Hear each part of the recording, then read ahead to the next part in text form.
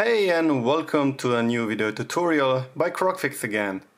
So what we have here is an Samsung Galaxy X-Cover Pro or X-Cover 6 Pro. So what's the problem here? Um, we have forgotten the password and we can't unlock the phone. So what to do now?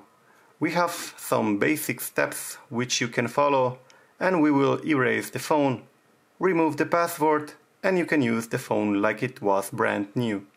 Keep in mind that you will need uh, your Google account to activate the phone later, uh, your Gmail account and your password. If you don't know it, you will need to search for uh, Xcover Pro FRP Unlock on YouTube. So let's go and proceed with following, uh, with removing the password here. So what you will need is the phone itself and of course an USB-C cable which is connected to your computer. So this end you will plug in here and the other end you will need to plug in on in your computer, not in your uh, charger, just on a laptop or on a PC. So the other end can be a normal USB, but just this one you need to plug in here. So this end is an USB-C cable, of course. So when you have plugged it in, um, I just want to remind if you don't have uh, an USB-C cable uh, by your side, you can use USB-C earphones. So whichever you will plug in here, then you can proceed with following. As we don't know the password, we can't really um, restart the phone or whatever. So what we will do now is we will press these three buttons together until the phone restarts. You will uh, maybe feel it's vibrating or you will see the Samsung logo coming.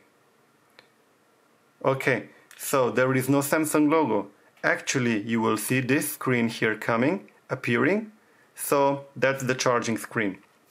It means the phone did uh, shut off. So now, while it's shut off, you can click volume up button and the power button and keep holding these two buttons until you see the recovery menu. Just keep holding. So these two buttons are the key. There we go. So we came into the recovery menu. If you don't, uh, if you can't do it the first time, just keep trying. So you, you press all three buttons. When the phone restarts, you keep just holding volume up button and the power button at the same time.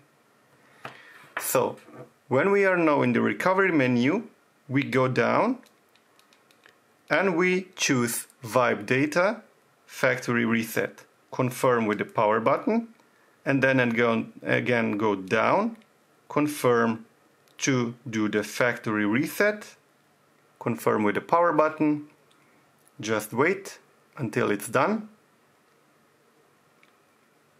there we go. When it's done, just click on Reboot System Now. Once you are in the recovery menu, you don't need the cable anymore. So just let's wait now until the phone boots up again.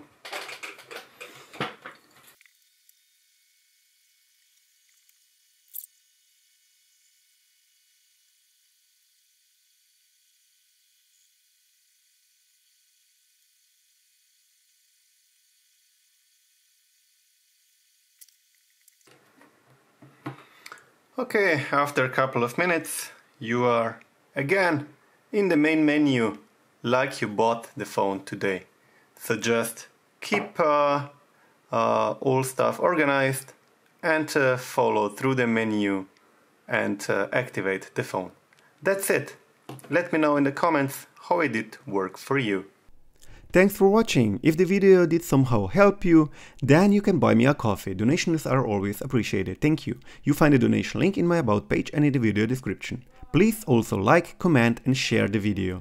And please don't forget to subscribe to my channel.